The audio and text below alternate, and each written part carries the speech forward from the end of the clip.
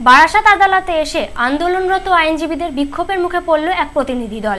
অভিযোগ, রাজীব কুমারের আগাম জামিন সম্পর্কে জানতে এসেছিলেন তারা। সোমবার বারাসাত আদালতে বিক্ষোভের মুখে পড়লেন প্রাক্তন পুলিশ কমিশনার রাজীব কুমারের জামিন সম্পর্কে জানতে আসা এক প্রতিনিধি দল। এদিন পুলিশ লেখা একটি গাড়িতে পাঁচ ছজনের এক প্রতিনিধি দল আসেন।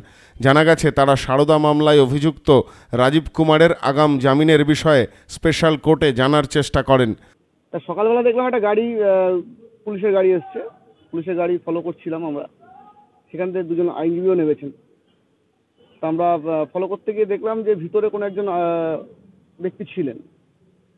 তাকে যখন আইডেন্টিফাই করা, সে সিবিআই লোক বলছে সে। কেসের বিষয়, কেসের বিষয়ে এসেছিলেন, কিন্তু আমাদের বলতে চাইছিলেন না।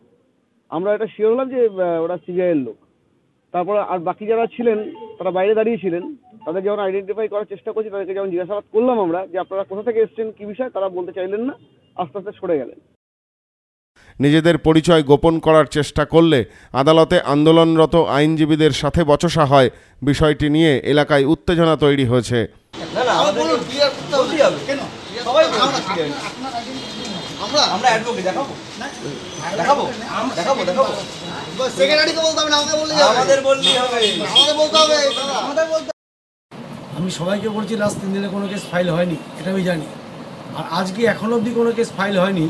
সিবিআই যদি কোনো লয়ার এসে থাকে সিবিআই লয়ারের বোঝা উচিত যে তাকে কপি দিয়ে ফাইল করতে হবে।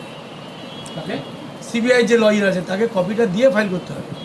না চাই যদি তাকে কপি দিয়ে থাকে, তাহলে ফাইল হবে, যদি কপি না দিকে তাহলে ফাইল হবে না।